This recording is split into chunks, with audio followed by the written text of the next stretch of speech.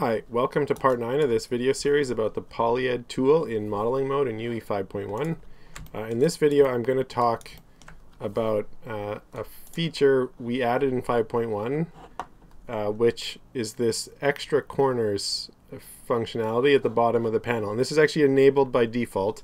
I disabled it so I can explain what it does because sometimes you're going to need to understand it. So uh, prior to 5.1 if you made to simple two triangle plane uh, and then tried to use our uh, tools on it in PolyEd, you know, you could select the face and do face stuff.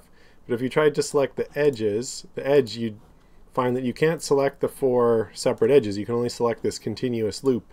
And if you try to do vertex selection, there are no vertices to select. Uh, and so why is that? Because there's clearly, you know, visible like corners here. So I'll explain it uh, by jumping over to this more complex shape, right? Because part of the idea with polygroups is you can use the same techniques on curved complex shapes as you can on simple shapes. So um, if we jump into face mode here, this you know sphere has some polygroups defined as kind of arbitrary grouping of triangles with interiors. Uh, and basically the the polygroup edges are not the mesh edges, they're the they're the boundaries of those regions of triangles. So here, you know, there's one region and then there's a neighboring region enclosing it, so there's a single boundary in between them. And so if we jump to the other side here, there's two regions on this side and then closing outer region, and so uh, there's three edges.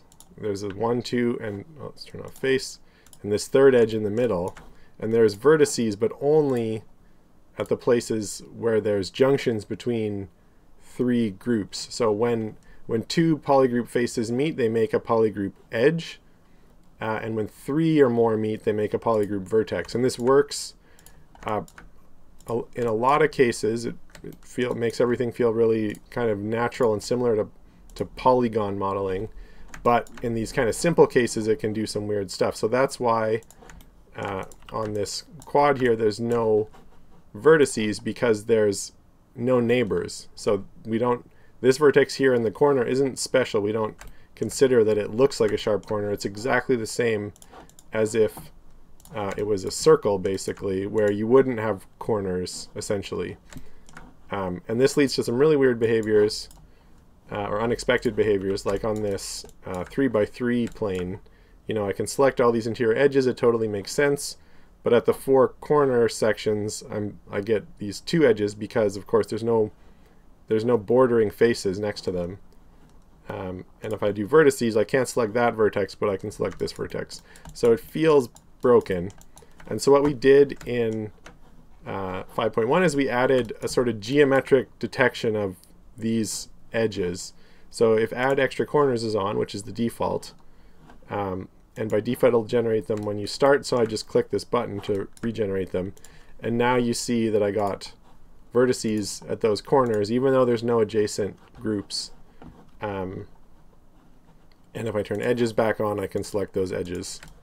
And so, and then that, that'll work properly on this uh, sort of single quad. So just like you'd expect, I can select those edges. So this is on by default. The, the main thing you need to know about is that there's this sort of geometric threshold. We use the sort of angle in the face of the plane of the polygroup face. So if I go over here to um, this sphere now, I've got some corners, but they're not everywhere because they're only at places where the sort of opening angle is 135 degrees. And if I turn this down, you know, now I set it too low, I don't get any. If I set it up really high to 180, I basically get one at every vertex. Uh, the default 135, we feel like it works pretty well for planar faces. Uh, but this can come up in uh, different scenarios where you're doing shape editing and sometimes you'll find that there's kind of like extra corners in unexpected places after you do an operation. That's because of this uh, regenerate extra corners functionality. So you can always toggle it off and click regenerate uh, if you decide you um, want to not have those extra corners and that will come up in the next video.